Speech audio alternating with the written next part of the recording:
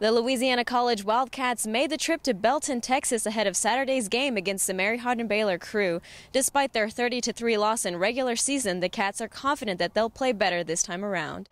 This ain't a pleasure trip. We're on a business trip, man. We're here to take care of business. You understand? Sir. So let's do this. Uh, I think our preparation is a little bit different. Uh, we we're uh, we're not coming in with the same game plan as we had last time, so it's going to be probably hopefully a better game, and, and I think we're going to come out with a little bit more intensity since it is our second time. And for us seniors, it'll be our last time to play them. We just have to get the ball moving offensively, uh, get our run game established uh, so we can hit them up with the pass later on.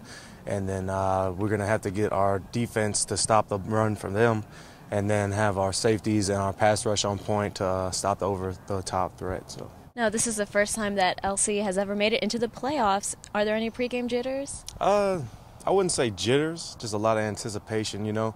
Uh, I feel like as a team we're really calm and collected, and, and, this being the second time we're meeting up with UMHB this year, we're just really focused and ready to uh, get in the game tomorrow. It's a well-known opponent, so we're not, especially me, I'm not really worried too much about who we're playing. I know I know what's going to come and, and what they're capable of. So I mean, we know that's the best thing about playing them in the first round is we know exactly who they are and, and what they stand for. Infamous saying here.